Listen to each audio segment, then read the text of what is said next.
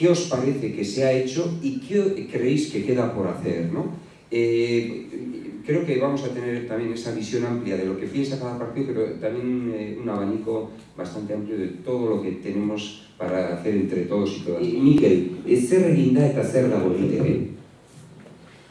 Bai, eskerrik asko. Um, ¿Qué se ha hecho? Queda mucho por hacer.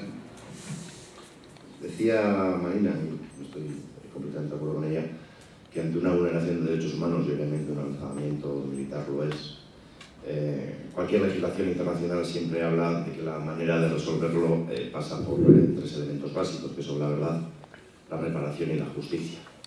A la vista está que en lo que respecta al Estado español, ni verdad, ni reparación, ni justicia. Por lo tanto, eh, queda camino por hacer, que sería en primer lugar la, primera, la primera conclusión. Y queda camino por hacer, sobre todo cuando, y con respecto al primer punto, la verdad, no sabemos todavía las miles de personas que puedan estar enterradas en cunetas, en fosas, etcétera. Todo eso estamos hablando de mm, después de más de 30 años de democracia, es decir, eso es un déficit del Estado español que no sé cómo no nos hace sonrojarnos a todos y sin embargo no ocurre semejante sonrojo. ¿no? Y no solo eso, sino la propia ley de memoria histórica, es una ley de memoria histórica del año 2007.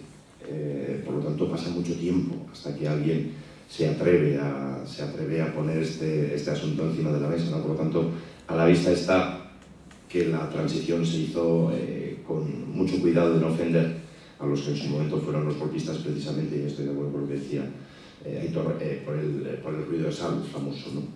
En ese sentido, si hablamos de la ley de memoria histórica, por centrarnos un poco, yo creo que sobre todo fueron tres los elementos que se destacaron de la ley, la declaración de ilegítimas de los juicios durante el franquismo, la ayuda del Estado para el descubrimiento de las fosas comunes y la desaparición de los símbolos franquistas. Sin embargo, creo que ninguno de los tres elementos eh, se profundizó todo lo que se, todo lo que se debía. ¿no? ¿no? es suficiente con la obvia afirmación de que las sentencias ilegítimas e injustas ya no tienen vigencia jurídica, eso es una obviedad, porque en muchos casos la propia muerte de los condenados agotó los efectos directos de las sentencias, en ese sentido Izquierda Unida presentó el año pasado una proposición de ley en el Congreso precisamente para que se anularan esas resoluciones para el reconocimiento expreso de las mismas no puedan ser considerados como actos de derecho, es decir, eliminándolos así del ámbito de la justicia y como ejemplo más evidente, que es el que se utilizaba para la exposición de motivos de esta proposición de ley, la propia sentencia de muerte, por ejemplo, de Miguel Hernández. Con las fosas comunes está ocurriendo algo parecido. Si bien podía parecer que el trabajo de la exhumación de cadáveres y fosas iba a avanzar, el caso es que cinco años después de la aprobación de la ley eh, siguen siendo sobre todo las asociaciones privadas quienes con colaboración pública, como es efectivamente el caso de Aranzadi y Euskadi o sin ella, siguen siendo las únicas que se han tomado en serio, este tema. Insisto, ni siquiera sabemos cuál es el número de personas que puedan estar tiradas, eh, tiradas miserablemente por ahí. Y por último, como decíamos, en lo que tiene que ver con los símbolos franquistas, eh, claro, el problema es que ya la propia ley de memoria histórica establecía tantas, tantas excepciones, eh, que era complicado que realmente se llevara adelante, ¿no? porque se hablaba de eliminar los símbolos franquistas, salvo que hubiera razones artísticas, arquitectónicas o artístico-religiosas eh, que evitara que pudiera hacerse. ¿no? Yo creo que como ejemplo más eh, obsceno de todos estos símbolos del franquismo con los que nadie ha podido hacer nada, el propio Valle de los Caídos, al que evidentemente nadie, nadie es capaz de, meterle mano precisamente por el, valor teórico artístico que tiene, pero incluso en la propia construcción de ese Valle de los Caídos también hay una gran mentira, ¿no? que es la esclavitud de miles y miles de, de personas que fueron obligadas a construirlo y tampoco, tampoco se, se manifiesta así. También ha habido otras iniciativas, tanto a nivel de la CAP eh, como a nivel general. A nivel de la CAP hubo un decreto de indemnizaciones que aprobó el gobierno vasco hace en el año 2008, un decreto de, deficiente gestión, no lo vamos a negar, pero que efectivamente ampliaba las indemnizaciones del Estado a quien hubiera estado menos de tres años en la cárcel. Eh, sin embargo, aquí sí me gustaría detenerme, porque hablaba antes Arturo de lo importante que es basarnos en la historia, en la documentación histórica para poder construir la verdad. Eh, la inmensa mayoría de las personas que vinieron al gobierno solicitando esa indemnización no pudieron demostrarla porque no había, no había documentación, porque la documentación histórica de esa verdad simplemente había desaparecido, se había eliminado o se había expurgado. Por lo tanto, difícilmente podemos hablar de documentación a la hora de establecer la verdad histórica cuando esa documentación se ha hecho desaparecer oportunamente. Y por último, sí me gustaría destacar, y ya volviendo al, día de hoy, el Instituto de la Memoria eh, de los Derechos Humanos que, y de la Convivencia, que mañana tendrá su primer trámite en el Parlamento Vasco. ¿Y por qué me gustaría destacarlo? Porque creo que sí es un ejercicio de verdad, sí es un ejercicio de reparación y sí es un ejercicio de justicia. Y la verdad es que es una lástima que no todas las formaciones políticas vayan a, vayan a suscribirlo. Estamos el Partido Socialista, está el PNV, están tres componentes de Aralar y está Esqueraniza, sin embargo, eh, ni, ni, Aralar, ni el Partido Popular, ni UPyD eh, van a firmarlo. Y digo que me parece un buen ejemplo porque en este instituto, que tiene esa vocación precisamente de defender la verdad, la reparación, la justicia y la no repetición, se incluyen, además de las víctimas de la ley del terrorismo, las, tanto las de ETA como las del resto de grupos terroristas, se incluyen también las víctimas de la violencia policial. Y por primera vez, junto con estas víctimas más recientes de las que todo el mundo habla, se incluyen también los periodos de la guerra civil y, y la dictadura militar. Por lo tanto, creo que este tipo de iniciativas en el que no se pretenden mezclar las víctimas, no se pretenden equiparar las víctimas, pero sí definir y demostrar y especificar que ha habido una vulneración de derechos, que ha habido una violencia injusta ejercida ante diferentes colectivos, yo creo que es la primera vez en la que toda lo que ha sido la, vulneración de derechos y todo lo que ha sido la violencia injusta que hemos sufrido en Euskadi desde el alzamiento militar se ponen en un mismo, en mismo ahora mismo cabo, en, en, un mismo espacio institucional con un objetivo, como decía, es decir, el de que no vuelva a ocurrir, el de que no se nos olvide lo que ocurrió y que estas personas puedan tener las reparaciones. Es que vengas con Miquel. De las intervenciones de mis compañeros de mesa, yo creo que se ha podido ver algunos aspectos que demuestran la fragilidad de la memoria histórica o de la memoria que tenemos de la historia o cómo cambiamos la memoria. Y eso a mí me parece francamente peligroso y que demuestra que sí hay que tener cuidado con esto, tiene que ser un cuidado enorme. Voy a poner dos ejemplos. Se ha dicho en esta sala hace un ratito, por ejemplo, que respecto al resto de España, en Euskadi la memoria histórica funcionaba de manera distinta, más intensa, mientras que en el resto, pues bueno, no era así. Y una de las pruebas era que UCD aquí tenía menos peso. Yo quiero recordar que los militantes y dirigentes de UCD fueron perseguidos y asesinados, uno a uno. Eso sí, rodeados del silencio y del abandono de la sociedad. A los que lo hacían sabían perfectamente para qué lo hacían. Evidentemente, no hay como el miedo para que la gente desaparezca y deje de votarte y se camufle como votante de otro partido. Y eso beneficia a muchos, evidentemente, porque la bolsa electoral es interesante. Se han tardado 25 años en recuperar la situación. Pero parece que no existía UCD, claro que existía. Y ganó en Álava y tuvo un excelente resultado en Vizcaya. Y en Guipúzcoa, sumando los dos grupos en que fue, era la segunda fuerza política potencial. Ahora bien, si les persigues y les matas, desaparecen, claro. Eso ha pasado hace muy poco, no estamos hablando de la guerra civil hace setenta y tantos años, estamos hablando de un pasado bien recientito y ya se nos ha olvidado. Bien, voy a poner otro ejemplo de cómo construimos el pasado en base a olvidar lo que conviene. Evidentemente, la guerra civil, con el levantamiento militar, un intento de golpe de Estado que fracasó y que llevó a una guerra fratricida, fue de una crueldad sin precedente. En ella intervinieron fuerzas políticas que tenían intereses en cada bando bastante distintos a veces de lo que parece. Muy poco después de acabar la guerra civil, un partido político importante escribió y publicó y envió el siguiente comunicado. Nosotros creemos en el talento político del Führer, en su sagacidad, en su alto espíritu de comprensión y esperamos que en el nuevo orden a establecer en Europa y particularmente en España, el problema vasco habrá de ser tenido en cuenta. Primero porque a Alemania le interesa la pacificación de España y no puede escapar a su recto sentido que no hay pacificación posible sin una solución favorable a los vascos.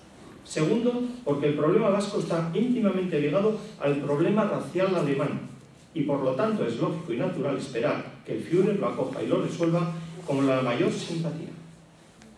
Este partido era leal a la República, se supone. ¿Por qué construimos el pasado siempre omitiendo lo que no nos gusta? Pues debe ser un defecto del ser humano, muy extendido, porque evidentemente el franquismo también se inventó un montón de cosas. Pero cuidado al construir el pasado, que el pasado documentalmente hablando no es lo que estamos vendiendo. Estamos hablando de una época con bandos enfrentados antes de la guerra civil, con una revolución de octubre, en el 34, en la cual hubo muertos en el País Vasco. De un bando, el otro los mataba. Pero eso no hace que un bando sea bueno y otro malo, sino que una sociedad estaba enfrentada y las causas de ese enfrentamiento siempre son las mismas, entonces y después. La intolerancia, la incomprensión, el fanatismo, el creer que uno es el portador de la verdad y el otro ha de ser eliminado, como en el 77 sucede, por cierto. ¿Hemos aprendido algo de la historia?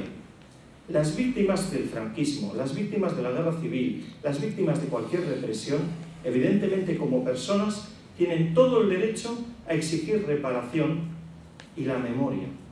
Pero cuidado, la historia real es la que es. Todavía me quedan 30 segundos. No la que nos interesa que sea. Y una cosa de decir para terminar. Los partidos políticos que hay ahora en el País Vasco y en España son muy democráticos todos.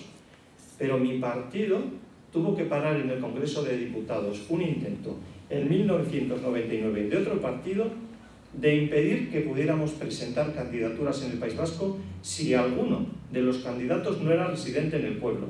¿Sabéis por qué?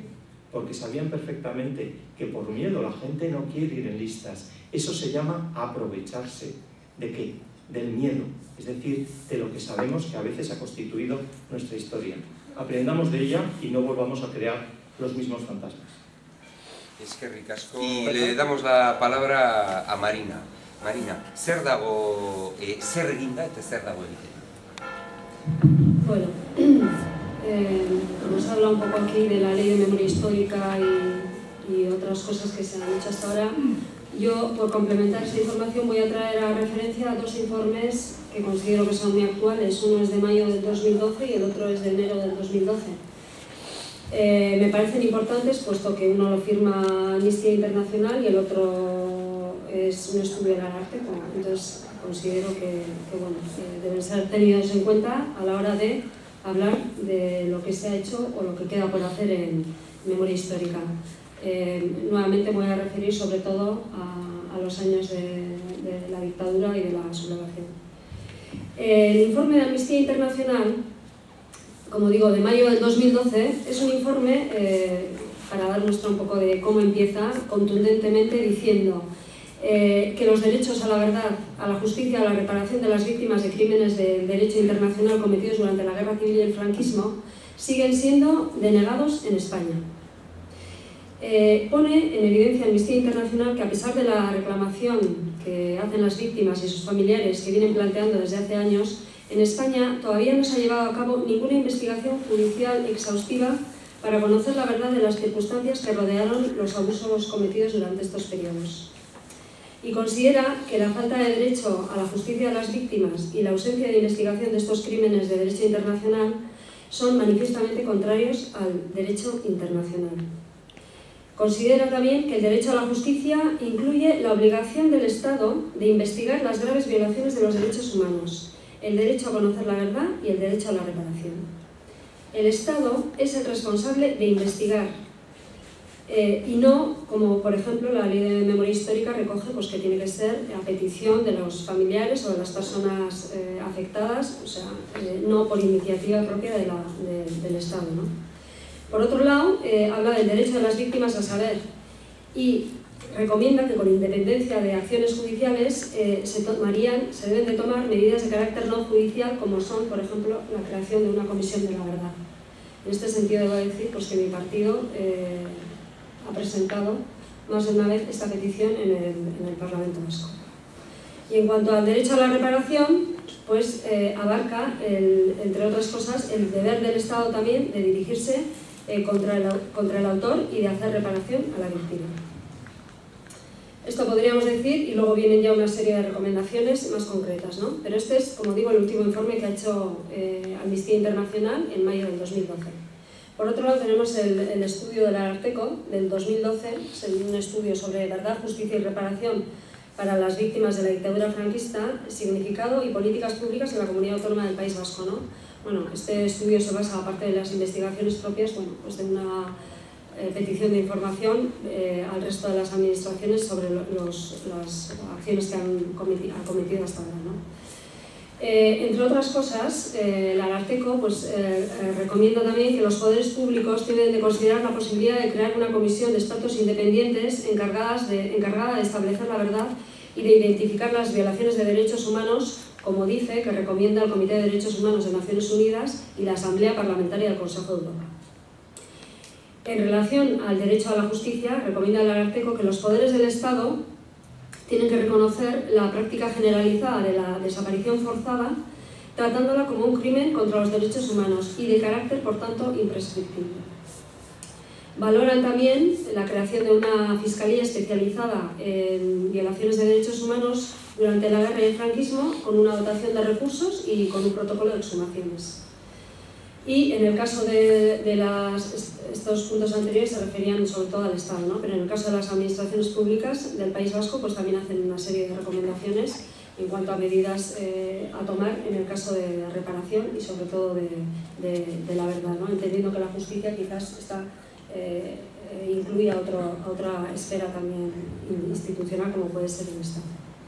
En cualquier caso, viene a decir que hay que seguir trabajando en lo que es la cooperación interinstitucional y también en, el reconocimiento que debemos hacer eh, los poderes públicos, y aquí aprovecho pues, para hacer ese reconocimiento de todas las asociaciones que han trabajado en memoria histórica y creo que han sido durante muchos años bueno, pues las que han trabajado incluso en, proponer metodologías y en hacer investigaciones y bueno, en impulsar un poco todo, todo este movimiento de la, de la memoria histórica. Eh, a, modo, a, modo, de conclusiones, yo diría em, como tres puntos importantes que, debemos de, tener en cuenta en, lo que serían acciones en materia de, memoria histórica. Eh, creo que estos dos informes ciertamente pues, son actuales, son muy firmes en sus denuncias y deben de ser tenidos en cuenta. Eh, pero en cualquier caso decir pues eso, que las políticas públicas, de, como he dicho anteriormente, que las políticas públicas de recuperación de la memoria histórica son una cuestión de superación de vulneración de derechos humanos y deben de tratarse como tal. Eh, sobre todo articulando una serie de medidas necesarias para hacer posible el ejercicio del derecho de las víctimas y de sus familiares a la justicia efectiva. Esta eh, es una labor, como he dicho anteriormente, de responsabilidad eminentemente pública e institucional y en esta medida las instituciones deben de vigilar que estos objetivos se lleven a cabo. Y por otro lado, eh, por último ya, deben concertar las instituciones con las, perdón, con las asociaciones de familiares y con eh, los agentes eh, históricamente que han intervenido, como las asociaciones memorialistas y tal, deben de debe haber, como he dicho, una concertación entre estas instituciones y, en estas, y entre estas asociaciones de cara a establecer los mecanismos y, y, las áreas de actuación a modo de colaboración entre ambos. Creo que tiene que pasar por estos tres puntos un poco lo que sería el, hacer una política en, memoria histórica. Es que ricasco por el esfuerzo a Marina. Le hemos dejado un poquito más de tiempo porque antes nos ha cedido ella todo es casi la mitad de su tiempo. Se ha hecho mucho porque no había nada. Eh, quedan por hacer cosas en Euskadi menos que en el resto de España, eh, y lo voy a explicar. Es decir, la ley de, memoria histórica, no voy a repetir sus bondades, para empezar es que existe, luego ha favorecido pensiones, reconocimiento público, reparación del honor, eliminación de símbolos, que se puede, eh, uno puede pensar que debe ir más allá o más cerca, pero esto es un proceso que se ha iniciado en la época de un gobierno socialista y que eh, con consenso además en el Parlamento y que sigue para adelante. En Euskadi, además, si alguna laguna eh, tiene, que tiene el desarrollo reglamentario de esa ley, eh, se cubre, como he dicho antes, con un decreto que se aprobará el próximo martes, que incluye a todas las víctimas de abusos policiales también, franquismo no solo aquellas víctimas reconocidas ya del, del terrorismo y, muy importante, el Instituto de la Memoria, de los Derechos Humanos, que como se ha puesto en valor, no voy a repetir para no perder tiempo, pero tiene un valor enorme, porque se constituye con el acuerdo mayoritario de esta sociedad, en nuestro Parlamento, mirando al futuro, a la convivencia, a la convivencia, porque aquí tenemos que hablar de algunas palabras que se usan y en realidad eh, son un poco torticeras en su sentido, no digo la intención de que las utilice, ¿verdad? No es para la reconciliación, cada uno se reconcilia con quien quiere, es para la convivencia.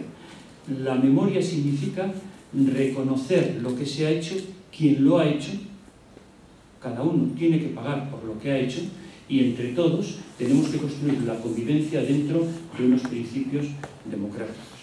Entonces, eh, dicho eso, hay además ponencias en el Parlamento que abundan en el trabajo que se está haciendo, pero yo sí quiero realzar que es a partir de 2009, por cierto, con una iniciativa de Aralar y luego con la actuación del gobierno y con el consenso de todos los partidos políticos, do, cuando se producen una serie de hechos que tienen traslación a ponencias en el Parlamento, a normas como las que acabo de citar, a creación de instituciones para la memoria, todo eso, junto con el fin del terrorismo, se produce de 2009 a 2012, siendo Pachi López Mendacari. Alguien lo tendrá que decir, porque es así. Y con, la ayuda de todos, con un clima social que favorece eso. Cada uno empujando, que tiene un mérito enorme desde su lado, pero se produce en ese momento, en ese clima. No es precisamente el momento del desastre. Y yo, en este sentido, sí quisiera aclarar que para construir la memoria no se puede hablar, y lo siento José, pero aquí tengo que discrepar de ti claramente, de superación del conflicto político hablando de memoria, de asunción de cada parte de su responsabilidad. Aquí, cuando estamos hablando de memoria, estamos hablando de muertos o de gente que ha sufrido físicamente y socialmente. Y eso lo ha hecho alguien y lo ha recibido alguien. Cuando estamos hablando de ataques a la democracia, estamos diciendo que había unas personas que defendían la libertad y otras personas que con una ideología totalitaria, puesto que querían imponer por la fuerza de las armas su pensamiento, atacaban a la democracia. No puede ser que haya una equidistancia en las causas. Claro que hay una igualdad en el trato. Da igual que haya sido por eh, víctimas de abusos policiales, haya sido víctima del terrorismo. Los que son víctimas, ¿eh? El que pone una bomba no es una víctima, si se muere cuando lo está poniendo.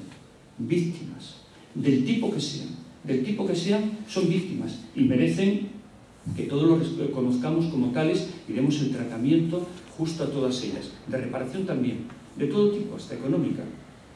Pero las causas no son las mismas, no son equiparables. No podemos extraer un beneficio político de la equiparación de los que no son equiparables, porque no han muerto por lo mismo y eh, no han actuado con las mismas motivaciones. Es la democracia, con un consenso mayoritario, la que tiene que establecer, y lo está haciendo. En Euskadi tenemos una suerte enorme. La mayoría de los partidos políticos en el Parlamento está estableciendo eso. Yo sigo invitando a que quien no esté se acerque, pero desde, desde la asunción de principios democráticos. Porque ETA se va y la democracia queda. Y el relato no puede ser escrito.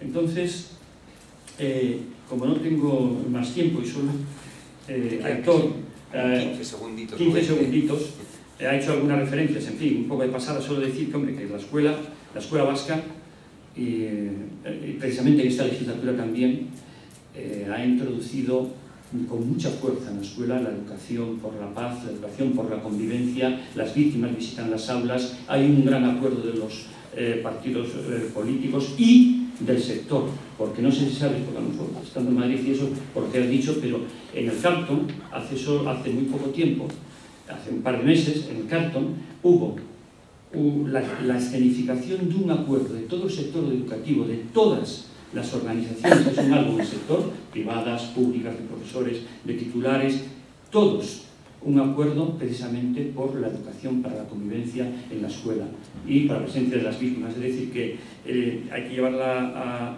a, la, a la escuela pues más probablemente, todo lo que se pueda, pero, pero en fin. Y para acabar, no creo, me parece de justicia decirlo, que aquí haya más o menos memoria histórica respecto a la época franquista, a la dictadura, porque resulta que la memoria en toda España ha sido muy dolorosa, porque todos hemos participado, quiero decir familiarmente, en la guerra civil, mi familia, la parte republicana, pero otros de, otro lado.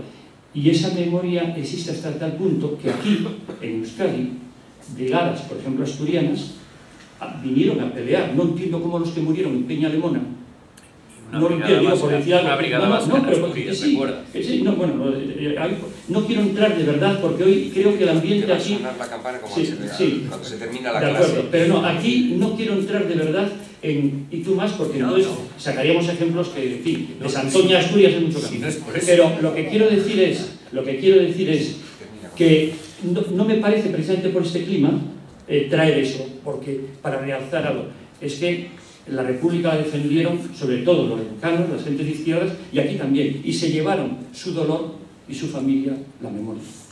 Gracias, Vicente. Es que Ricardo va a pasar ahora la palabra. Josen, Josen, zer egin da, zer dago egiteke. Bueno, egin da asko batez ere Gutxu mesedez. barkatu. Asko egin da, batez ere herritarrek egin dute asko. Arnasa ez instituzional, hola baizik eta herritarra daukaten antolakunde askok ordezkatu nolabait instituzioetatik eh, urte luzetan egin ez dena egina, ez? Pero bueno, eh, me quería centrar un poco, eh, dejando un poco el, el hilo en el punto de lo que me he dejado en mi primera intervención y ligándolo con la primera intervención y la, y la que ha hecho ahora Vicente en relación con, bueno, con la actualidad y con la importancia que tiene desde el punto de vista de la izquierda abertzale hacer un ejercicio auténtico de memoria histórica con la, con la propia superación de un conflicto político que le llamemos le llamemos, vamos a dejar la retórica a, a un lado, existe. Por una cosa muy importante, o sea, todos sabemos y conocemos cuáles han sido las acciones y los efectos de las acciones de ETA, no es algo ocultado. Y debemos respeto absoluto, reconocimiento y reparación completa a quien de alguna forma ha padecido las consecuencias de esa violencia, perdiendo la vida, sus bienes, resultando herida, de cualquier manera.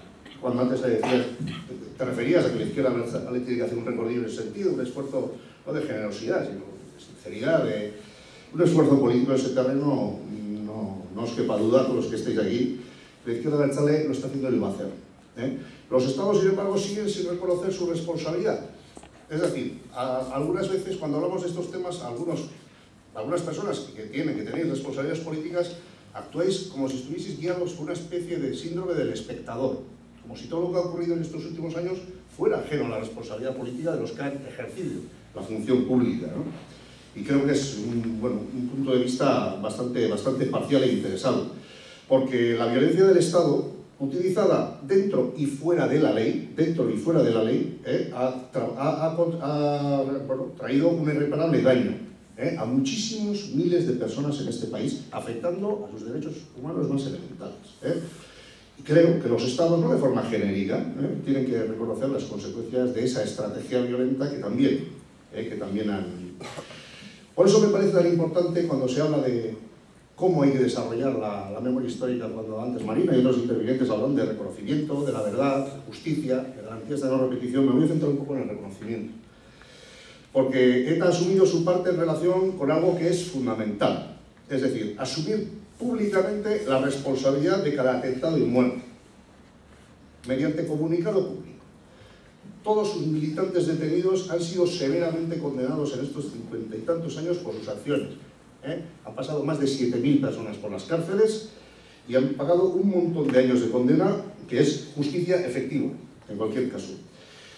Le falta a ETA, y yo no tengo ninguna duda en que lo hará, asumir de forma global y política eh, las consecuencias no solo humanas, sino de otro tipo de todas sus acciones. Es decir, en el ámbito de la autocrítica, ETA, como todos los agentes políticos, sociales, organizaciones de todo tipo que existen en este país, tiene que hacer un desarrollo propio en el terreno de la autocrítica, no solo ETA, por supuesto. Eh, pero claro, lo hará ubicándose, como es obvio, en su versión, en su relato de lo que ha ocurrido a lo largo de este conflicto. ¿eh? Político, armado, llamémoslo como, como queramos, porque no ha sido el único protagonista. No se puede decir, como a veces se dice de alguna manera ligera, de que aquí lo que ha pasado en estos últimos 50 años es que unos mataban y otros morían. Eso, dicho así, es un recurso de parte. Es un recurso interesado, porque no es toda la verdad. Y todo lo que no sea toda la verdad es faltar a la verdad. El otro e ineludible responsable ha sido el causante, y no, y no vamos a hacer trampas, de más de 380 víctimas mortales. Y no estoy hablando de los militantes de ETA que han ido con una bomba y han explotado. Nadie pide para ese, para ese tipo de personas la categorización de víctimas ni su eh, equidistancia o simetría con otro tipo de sufrimientos, de ninguna manera. Estoy hablando de muertos a manos de las distintas policías que hay y ha habido en este país, de las bandas paramilitares, del batallón vasco español, del GAL, la AAA, de la tortura, de la deportación, de la política penitenciaria. Y todo esto ha ocurrido, estas 380 y tantas personas tienen nombres y apellidos, o sea, no se pueden meter debajo de la alfombra, no se pueden ocultar. Hablas del decreto, el decreto que va a presentar, bueno, hoy lo ha anunciado Marisabel Velasa, me parece que se va a presentar en los próximos días. Perdona, yo ya me. Eh, ese, ese, decreto, o, bueno, sabéis, cuando se presentó, se encargó su redacción a Manuela Carmena, una jurista prestigiosa, ¿eh? Y bueno, nosotros sabemos, porque bueno, eh, eh nos lo ha hecho llegar, que el, la redacción inicial del proyecto, perdón, de decreto que, que presentó al gobierno ha sido rechazada ha sido rechazada, entre otras razones, porque el Partido Popular amenazó con un decreto de inconstitucionalidad. Y ha tenido una nueva redacción, de la cual Manuela Carmena, aunque bueno, cuando haga la presentación pública del decreto, no sé si aparecerá o no en la foto, no ha sido la autora. Eso da que pensar que algunas de las cosas que había incluido eh, Manuela Carmena, sobre todo el desarrollo de la tortura y sus consecuencias, de lo que ha recibido en estos últimos eh, 50 y tantos años no ha sido, no va a ser incluido en el decreto definitivo. Por lo tanto, creo, y termino, que hay un montón de gente en este país que sigue sin recibir un solo gramo de reparación, ni moral, ni institucional, ni judicial, por supuesto, ni económica, en relación con lo acontecido. El reproche jurídico medido en años de condena contra personas pertenecientes a ETA en todos estos años asciende a 30.000 años de cárcel efectivamente cumplidos. Reproche jurídico medido en años de condena contra funcionarios públicos, mercenarios del GAL, por actos de violencia política y represión. No llega a los 500 años, no llega. Y termino, el reproche jurídico medido en años de condena contra funcionarios públicos por delitos de tortura ha sido de cero, cero. ¿Eh? De 40 condenas en firme, 27 agentes resultaron indultados, mientras que el resto no cumplió su pena. Respeto a los valores democráticos, sí, a la verdad sí, pero todos los derechos democráticos y la verdad completa. Es que eh, cinco minutos para tu exposición antes de que, de que Paco te levante la tarjeta roja. Eh, pero bueno, siéntete tú también con la Yo, yo creo que, estamos mezclando muchas cosas. Antes hemos hablado de dos partes o dos fases. Yo lo que estás hablando de, de la escuela y la, la educación en valores, convivencia y todo eso me parece bien, pero yo creo que en este debate lo que está eh, quedando claro es esas dos partes y yo me estaba refiriendo sobre todo a la primera, ¿no? a, la, a, la, histórica y a la, a la, de los hechos. Yo creo Arturo, desgraciadamente, tiene poca memoria también en cuanto a cómo era el tema del, 77 y UCD, encabezado por el secretario general del movimiento, de Suárez, con todos los gobernadores civiles y funcionarios de, la administración formando parte de UCD y toda la maquinaria del Estado a su favor en los medios de comunicación frente a unos partidos políticos que eran absolutamente desconocidos, salían de la clandestinidad, había muchísimos, 300 y pico creo, recordarlo, 500 y pico, ¿eh? y, que, y con muy pocos medios para explicar qué eran y cómo eran. Y aún así, pues fíjate, donde ahí arrasa UCD, pues resulta que no arrasa tanto en algunos sitios. No es lo mismo esa salida del 77, que hablemos del 80 y tantos, etc. Eh, por cierto, creo que has dado un ejemplo de historia sesgada, que es lo que durante toda la vida nos han, hemos tenido que sufrir en el franquismo, ¿no? a partir de un escrito que imagino de Luis Arana, por cierto expulsado del partido, imagino, no sé si será de Luis, pero lo intuyo, ¿eh? pues eh, das a entender, al que no conozca un poquito la historia, que los nacionalistas vascos eran poco menos que filonazis y que, eh, y que parece ser, a nadie que conozca la historia, la primera interpretación sería, joder, estos estuvieron con Franco. No, no, estuvieron en el otro lado sus autoridades legítimas tomaron la decisión que tomaron y tuvieron muchos muertos y represaliados. Pero con todo esto intentas explicar que la historia es muy compleja Sí, es cierto, yo eso no lo puedo negar, es cierto. Pero hay un dato objetivo, evidente, y es que lo que había es una legalidad, una legalidad democrática, hay unos sublevados ¿eh? que con el ejército y una sociedad civil que, se suma a ellos, lo que hacen es la imposición de su verdad ¿eh? y le imponen esa verdad a sangre y fuego. Dicho esto, yo quisiera hablar un poco de, de, la ley de memoria histórica y de cosas que se han dicho aquí, ¿no? Porque yo lo que creo es que la ley de memoria histórica evidentemente podía haber llegado más allá, pero lo que, eh, lo que es una pena es que las potencialidades que tienen no se hayan desarrollado. ¿no? Porque, por ejemplo, hablando de fosas, hombre, yo creo, sí creo que el mapa de fosas está prácticamente hecho, es de lo poquito que se ha hecho. Que algunas comunidades autónomas no han querido colaborar, pero más o menos está hecho, incluso está eh, publicado en la red. Pero si uno lee el tema de la identificación y localización de víctimas, se habla de que el gobierno tiene que elaborar un protocolo de actuación científica multidisciplinar, las administraciones públicas harán los mapas, las administraciones públicas competentes autorizarán las tareas de prospección, establecerán procedimiento y condiciones, eh, la sumación se, eh, se someterá a autorización administrativa, etcétera, etcétera, etcétera. No sé por qué de repente han aparecido los tribunales en todo este lío. Porque el gobierno yo creo que lo que tenía que haber hecho es con las potencialidades que le daba la ley, haber hecho un plan de exhumación de fosas. No solo dedicarse a dar subvenciones, por cierto, algunas llegaban en diciembre a las, a las eh, asociaciones que se encargaban de la memoria histórica, sino crear todo un plan e impulsar un plan con dinero público para la eh, exhumación de, de, estos restos, de estos restos humanos. Eh, Claro, ¿qué, ¿qué, ha pasado con, con, algunas de las cosas que no se decían exprofeso en la ley o que se decían de otra manera? Pues que luego viene, por ejemplo, un reglamento y, y, en ese reglamento lo que se hace es darle la vuelta a la ley. Darle la vuelta a la ley. Por ejemplo, eh, en el tema de las víctimas de, de Vitoria, los sucesos del final del franquismo, etc. Bueno, al final se consiguió meter eh, una disposición adicional que entroncaba con el artículo 10 y ahí lo que se hablaba, lo que se intentaba igualar era la ley de solidaridad de víctimas del terrorismo, porque lo que se, curiosamente, la ley aparece como el primer asesinato de ETA, bueno, ahora están hablando de otro, pero el primer asesinato de ETA, que es el 68, hasta el 77. Como eso abarcaba la ley y era lo mismo que la ley de solidaridad de víctimas, lo que decimos, oye, que las condiciones sean las mismas, que, que las, eh, las condiciones a cumplir sean las mismas, que las... Eh, subvenciones, que los pagos sean de igual cantidad. Bueno, eso, en el desarrollo que se hace posteriormente, no es así. No es así. Es a menos.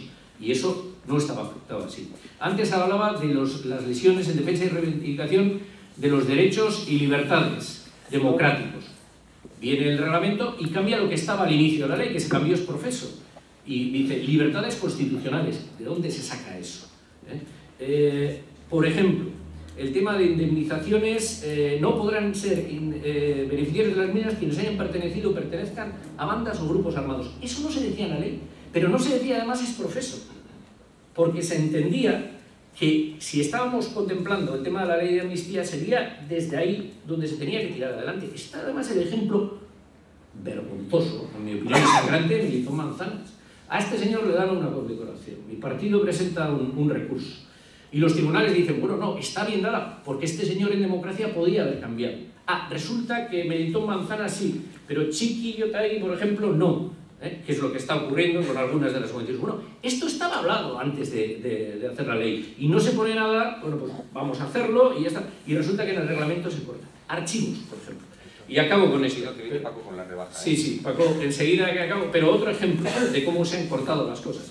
En los archivos, por ejemplo, eh, pretendía el gobierno en un inicio que primero tuvieras que justificar tu interés como investigador, presentar carnet de investigador, etcétera, etcétera, y no solo eso, luego te decían, luego la documentación se la daremos pero sin los nombres, quiero decir, quién había hecho la denuncia, no aparecería, quién había sido el juez, no aparecería, etcétera, etcétera. Dijimos, no, eso no puede ser, se cambia la ley, bueno, se cambia en la ley y resulta que luego hay una orden que va a todos los registros y resulta que pone lo anterior de la ley. Esto es una auténtica tomadura de pelo y una pérdida de las potencialidades de la ley. Es que ricasco, Aitor, es que ricasco a eh, este hexágono que hemos formado aquí de primeros. Ya veis que la realidad es muy poliédrica Eh, hemos tenido seis opiniones que nos han ido enriqueciendo. Llevamos casi una hora y cuarto hablando desde este lado de la mesa. Yo enseguida voy a pasar este micro a Unate para que os ponga a todas las personas que queréis hacer alguna pregunta o manifestar alguna opinión, os damos voz.